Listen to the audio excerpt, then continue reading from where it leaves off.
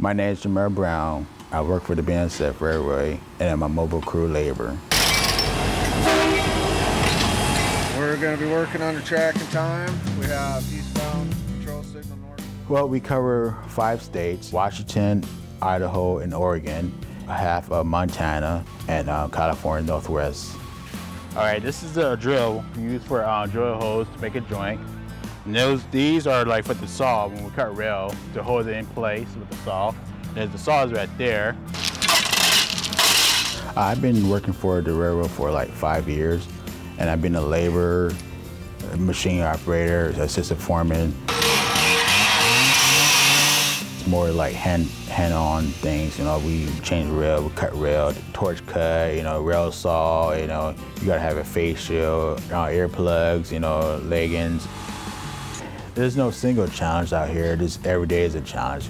This job it has taken a lot of uh, physical uh, lifting, and you got to be in good shape. You got to be healthy out here. You have to be a people person. You know, you got to have a good attitude to work. You got to work as a team.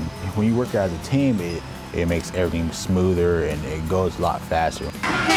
A good day is going home safe with your family. You know, you got a problem, you fix it. You go out there, fix it, and then when the end of the day, when it's already done, you know, everybody made it safely.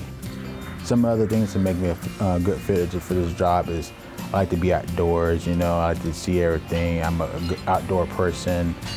There's a lot of opportunity in the railroad. It's good to have good benefits such as, you know, 401k, dental, and medical. I like to see myself in the next 10, 5 years as a assistant foreman or a foreman.